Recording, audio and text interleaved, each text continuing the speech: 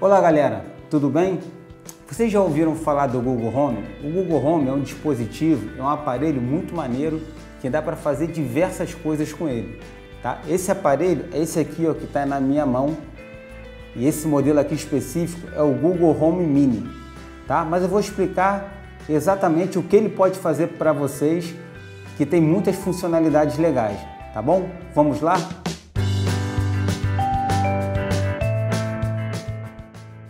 O Google Home ele é um centralizador de automação. Né? Hoje a gente está na era da casa inteligente. Então com o Google Home ele pode centralizar, pode ser o centralizador da sua casa. Vou dar um exemplo aqui prático.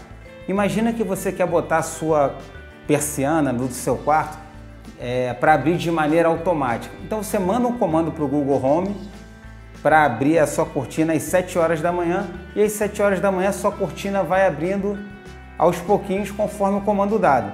Claro que a, a sua cortina para funcionar, ela tem que ter um dispositivo na cortina, né? Você pode programar ele também quando você estiver saindo de casa. Vamos supor que você mora numa casa muito grande de três andares e você cria cenas. Você pode falar: Google Home, desliga todas as luzes da casa. É a cena que a gente chama de Master Off ele vai desligar todas as luzes da sua casa, obviamente vai deixar ligada a geladeira e as coisas que precisam ser ligadas. Você pode fazer ao contrário também. Você chegou em casa, você fala Google Home, ligue as luzes de casa e ele vai ligar a casa a, a luz da sua sala, a luz da sua escada, a luz do segundo andar e você acaba tendo uma economia de energia muito grande por ter uma casa automatizada. E o mundo é o limite. Você pode usar o Google Home para diversas tarefas de automação da sua casa. Temos vários exemplos aí. Você pode configurar ele para criar uma cena romântica. Então você chega na sua casa e fala cena romântica. Só de falar isso, ele vai baixar a luz da sua sala, vai ligar o Netflix, vai ligar o seu home theater, vai entrar naquele seu filme pré-desejado e aí tem essa cena toda romântica. Você pode fazer uma cena de rock, uma cena de festa uma cena de festa. Você fala Google Home, eu quero uma cena de festa. Ele automaticamente ele vai botar o som mais alto, vai ligar a luz da tua casa, vai descer o projetor. Como eu falei antes, o mundo é o limite. Você pode fazer milhões de coisas. É óbvio que para essa central de controle inteligente funcionar, todos os dispositivos eles têm que, ter, têm que estar preparados para isso. Então, por exemplo, se a gente quiser movimentar uma cortina controlada pelo Google Home, essa cortina tem que ter um dispositivo que se conecte ao Wi-Fi para isso poder funcionar. Né? Mesma coisa a luz, para a luz dimerizar, diminuir, né? naquela cena que eu falei do, do jantar romântico, ela tem que estar preparada para isso. Não, não é mágica, não vai funcionar do nada. O Google Home é só uma central de controle, tá? Para fazer isso tudo funcionar e é uma coisa bem legal. Outra coisa do Google Home é que ele é um, ele é um player também. Então, se você quiser é, tocar uma música nele, você pode tocar, você pode pegar o seu iPhone, o seu computador e usar ele como um player. Né? Em vez de tocar o som no seu iPhone, que não é um som muito bom, ou no seu MacBook, você usa o seu Google Home Mini, aqui no caso. E uma grande vantagem do Google Home hoje em dia é que ele fala português, ele entende o português.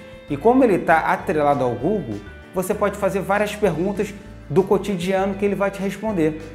Eu vou fazer alguns exemplos aqui agora para vocês terem ideia do que eu estou falando. Nosso escritório está no Flamengo, então vou fazer uma pergunta referente aqui ao local onde eu estou, só para vocês terem uma ideia. Ok, Google, qual é a temperatura hoje aqui do Flamengo? Hoje, no Flamengo, a máxima está prevista para chegar a 27 e a mínima a 22 graus. Vou fazer outra pergunta. Ok, Google, vai chover hoje?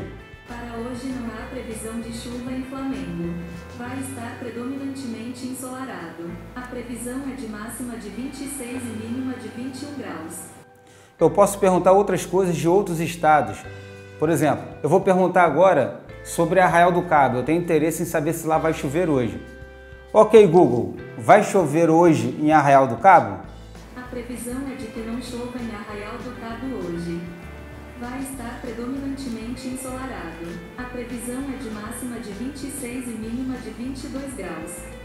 Posso fazer outras perguntas de interesse geral.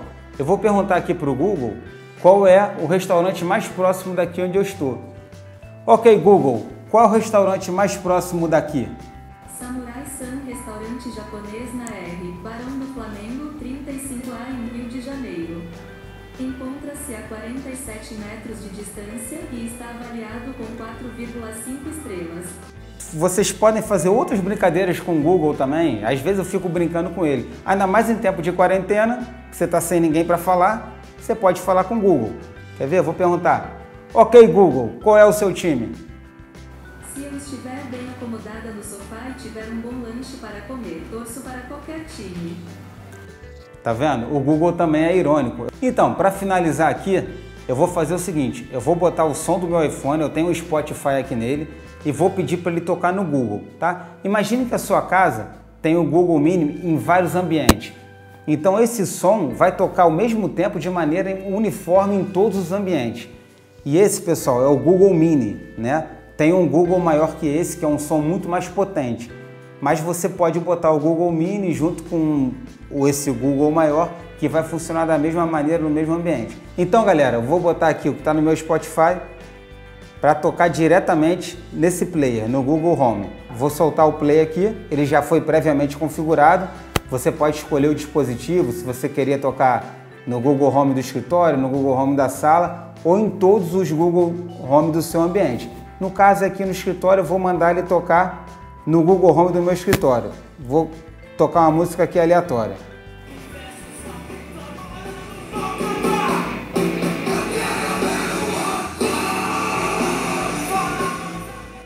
Som observação é um som estéreo e mesmo sendo o Google Home Mini, é um som muito bom. Eu vou aumentar aqui um pouco, ó.